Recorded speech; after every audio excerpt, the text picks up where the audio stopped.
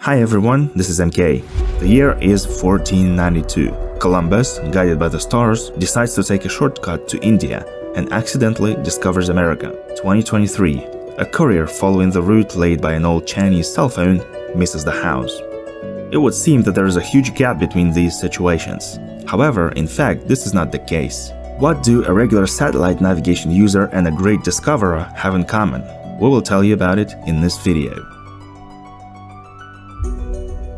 I think you know that sailors used to determine their location using the stars. After all, when there is nothing but water around you without a single landmark, only the space will help you lay the correct route. And it would seem that with the beginning of the GPS and GLONASS era, star navigation should have sunk into oblivion. But no. Your phone shows your exact position on the map thanks to the deep space among other things. So when opening a navigation app, we are not so different from the medieval captain tuning the sextant on the bridge.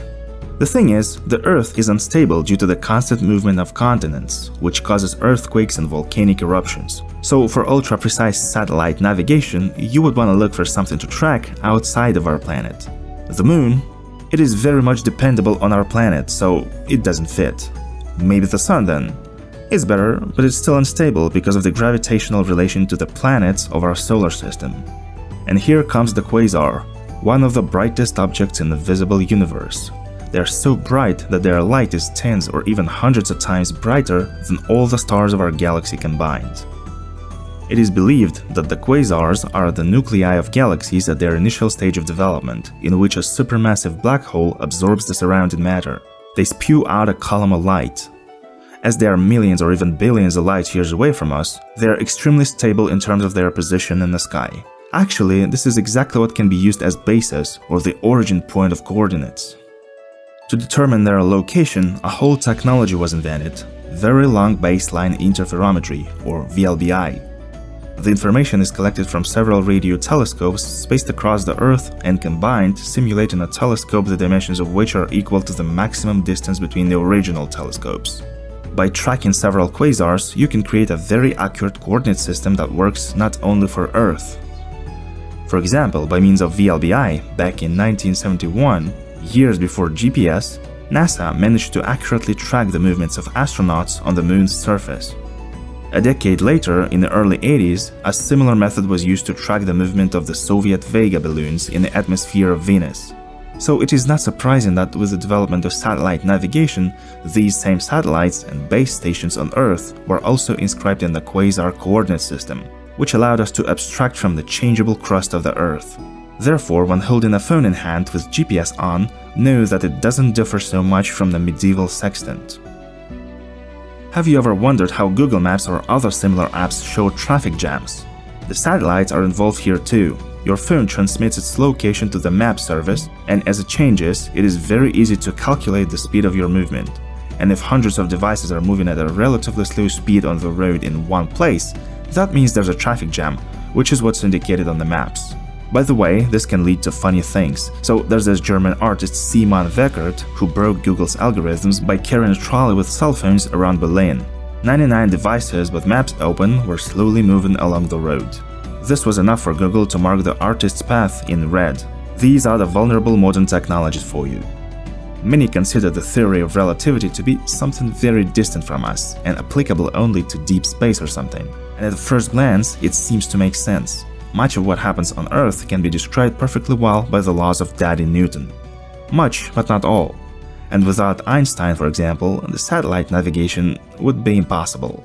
The thing is that each GPS or GLONASS satellite flies at an altitude of about 20,000 kilometers, and its orbital speed exceeds 14,000 kilometers per hour. And this is enough so that due to relativistic effects, very accurate atomic clocks on the satellite lag behind similar clocks on Earth by 38 milliseconds every day. It would seem that this is insignificant, but not at such speeds. In order to provide a 1 meter precision in determining the user's location on Earth, the precision of the satellite clock should be a couple of tens of nanoseconds. In simple terms, if you don't adjust for the theory of relativity for just one day, the location determination accuracy will degrade to hundreds of meters and in a week satellites will become useless for navigation at all. So next time when navigating using your phone, thank Einstein for this, as this is another confirmation of his theory. And although our planet is more than 4 billion years old, it is still geologically active. On the one hand, this is a plus. The Earth has a magnetic field that protects us from high-energy cosmic rays. On the other hand, this is a big disadvantage too. After all, it is precisely because of this activity of the Earth's crust that destructive earthquakes and volcanic eruptions occur. In addition, there is a drift of lithospheric plates with continents on them. Of course, this is absolutely invisible to a human eye, because for a whole year Eurasia runs away from North America only by 5 centimeters, so even in a lifetime the changes will be imperceptible. But that is not the case with GPS. The thing is, its operation requires base stations on the ground, the distance from which to the satellites should be measured as accurately as possible and not change. And as you may have guessed, the movement of some lithospheric plates turned out to be quite enough to cause a significant error in this distance. For example, Australia is steadily moving to the northeast at a speed of 7 centimeters per year, which is why an imprecision in location determination of more than 1 meter has been formed over 5 years. As a result, the government of this country has instructed the state-owned enterprise Geoscience Australia to make the necessary amendments and keep doing so in the future. But of course there's a flip side to the coin too. This enables geographers and geologists to learn about the exact drift of continents, which in turn makes it possible to predict, for example, future earthquakes or tsunamis, building clear time models of the Earth. I think many of you have seen a Steven Spielberg's movie called Jaws, and no one would want to get into a situation like the one shown in this movie. And although the number of shark attacks per person per year is only a few dozen, not every swimmer on the ocean coast is sure that they are safe from becoming food for such a monster. And this is why the organization called OCEARCH has been marking large sharks with GPS trackers for several years now, which allows them to be tracked in real time on a map that is openly available on the web. I will add a link to it in the description. In total, more than 100 sharks, mainly the largest, the white ones, have been marked in this way. Now going out for a swim at Miami Beach, you can make sure right from your phone that no one is going to eat you. Most satellite navigation use cases are quite serious, and this is not surprising. At the beginning of its existence, GPS and GLONASS with maximum accuracy were available only to military and scientists, and even now we use it mainly for business. However, the ability to track the location of an individual device has generated some kind of entertainment too. Firstly, it is drawing various shapes or inscriptions on the maps.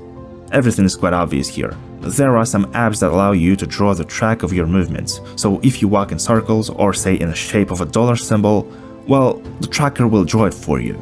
There's even a whole website that collects such drawings, among which there are quite complex ones, for example, a ship. Secondly, it is of course a treasure hunt. What could be better than a drawing of the key? That's right, a blue dot on Google Maps. Taking into account the fact that GPS trackers are cheap now, often cheaper than 15 bucks, this allows everyone to arrange a treasure hunt game where several trackers are located on a large area at once, but there is a treasure chest only next to one of them. And this is far from a complete list of what GPS trackers can be used for. By measuring the difference between how the waves from the satellite pass to the GPS tracker, you can learn about changes in the atmosphere, by their reflection from the ground, about the snow cover thickness. Of course, GPS and GLONASS have many military applications as well as civilian ones, such as tracking trucks or buses on the map. Overall, it is quite difficult to imagine our world as it is without satellite navigation. And all that thanks to Dr. Richard Kershner. I bet you haven't heard this name until now, but it was he who in 1958 convinced the American agency DARPA that satellite navigation would be the future. And it is thanks to him that since 1964 the transit system has been working and continues to operate, although now it is mainly used to study the upper layers of the atmosphere. And what interesting ways to use satellite navigations do you know about? Share it with us in the comments. If you enjoyed watching this video, you know what to do. I'll see you again. Bye.